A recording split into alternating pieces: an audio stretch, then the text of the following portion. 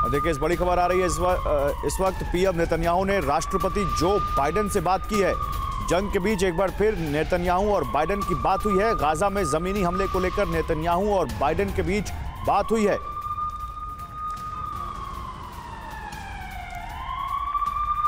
तो लेबनान से इसराइल पर बड़ा हमला हुआ है। इसराइल के किरियात में रॉकेट हमला। हमले के बाद भीषण आग लग गई। किरियात शिमोना के घर में ये तस्वीरें देखिए। हालाँकि इसराइल ने पहले ही ये इलाका खाली करवा लिया है।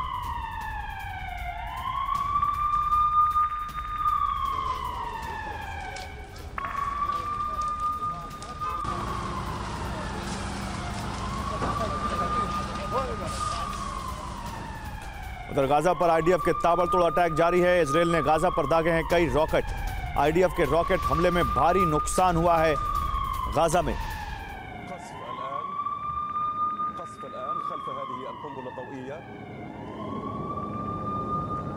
Car garage network, great.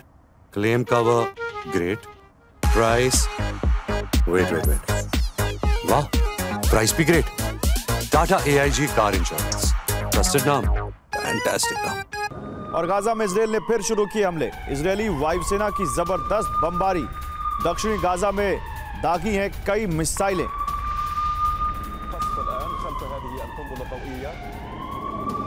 तो ये देखिए, गाजा में, साउथ गाजा में कई मिसाइलें दागी हैं इसराइल ने।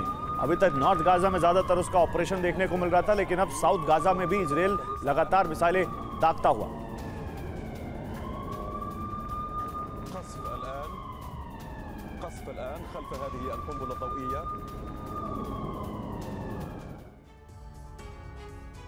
तो गाजा बॉर्डर पर इजरायली सेना की बड़ी मूवमेंट देखी गई है इसराइल ने हजारों सैनिकों को गाजा की धरती पर भेज दिया है आज रात बहुत बड़े ऑपरेशन की तैयारी है इसराइल ने आज ही ऐलान किया है कि अब युद्ध का दूसरा चरण शुरू हो चुका है जंग का यह दौर मरो या मारो वाला है पहले नेतन्याहू ने कैमरे के सामने यह ऐलान किया और इसी के साथ इसराइल ने ऑपरेशन ओपेरा लॉन्च कर दिया सवाल है कि आखिर ये ऑपरेशन ओपेरा है क्या इसके तहत इजरायली सेना करने क्या जा रही है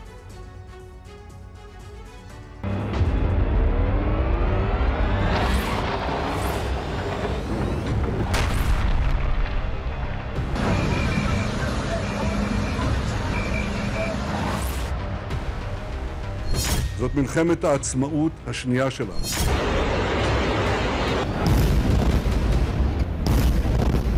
Hunt down every terrorist.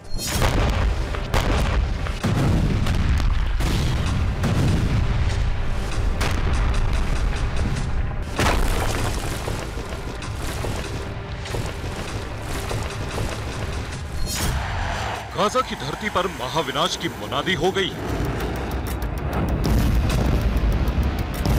Gaza में अब वो होने जा रहा है जो अब तक नहीं हुआ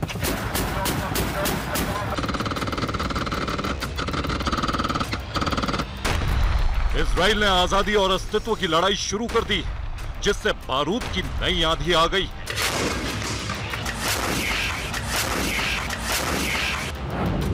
नेतन्याहू और उनकी सेना ने अब तक का सबसे बड़ा और विध्वंसक प्रण ले लिया है।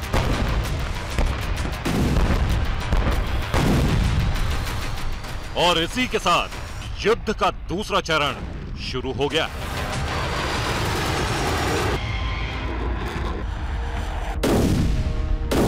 गाजा की ज़मीन पर जंग बहुत प्रचंड होने जा रही है। इसराइली सेना हमास को अब तक का सबसे बड़ा दंड देने जा रही है।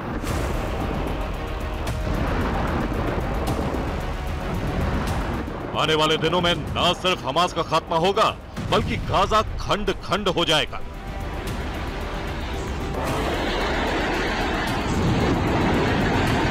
इसराइली सेना ने ऑपरेशन ऑपरा शुरू कर दिया है।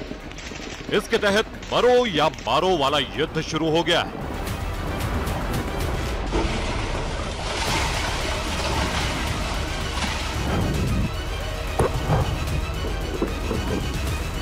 इजरायली सेना को गाजा में विजय चाहिए, इसलिए वो हमास को खत्म करने निकल पड़ी है। 22 दिनों तक युद्ध का पहला फ़ेज़ चला, लेकिन 23वें दिन से युद्ध में विनाश का दूसरा स्टेज शुरू हो चुका है।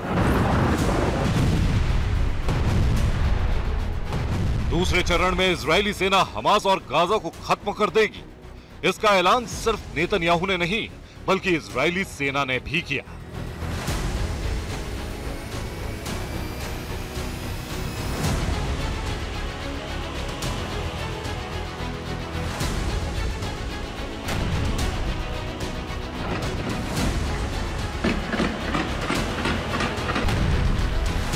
נילחם על הגנת המולדת. נילחם וננצח. זאת מלחמת העצמאות השנייה שלנו. נילחם ביבשה, בים ובאוויר. והיא שונה מכל מה שחווה החמאס מאז היו- מאז היווסדו ועד היום. נזכור, נילחם בנחישות וננצח. इसराइल के पीएम नेतन्याहू इसराइल के रक्षा मंत्री और आईडीएफ के इसी ऐलान के साथ गाजा विनाश का दूसरा राउंड शुरू हो चुका है।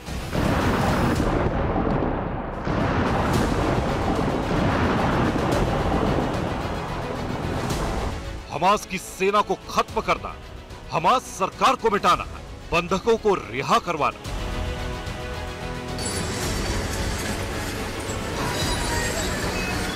और के सेकंड फ़ेज़ में इजरायली सेना के यही तीन बड़े और विध्वंसक लक्ष्य हैं?